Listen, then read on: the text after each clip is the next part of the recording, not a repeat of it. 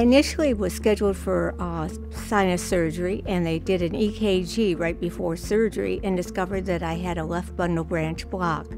I was referred to Wake um, Med Cardiology, and um, they ran several tests, an echocardiogram and a thallium stress test, and discovered that I had congestive heart failure, which probably I'd had many years, and I, I had no signs, no symptoms.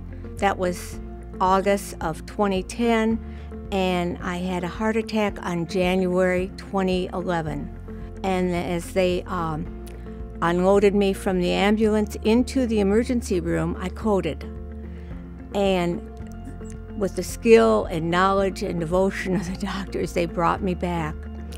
Uh, two days later, um, I still had a heart rhythm problem, and so they implanted in my chest an AICD unit. And then two days after that, I had a cardiac tamponade.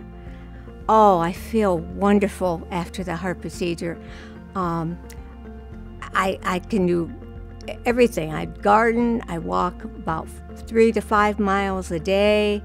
I play with the grandchildren, watch over them, volunteer at several organizations. I'm just living life to the fullest, and it makes you appreciate each and every day. What is special about my cardiologist is his knowledge. They have helped me in so many ways, and without them, I wouldn't be here. And I, I my heart beats because of them. The WakeMed Cardiac Rehab Program is wonderful. They treat each and every one of us um, with care and compassion. If you have, is there something that you cannot do, they encourage you, they show you how to do it, they make you feel good.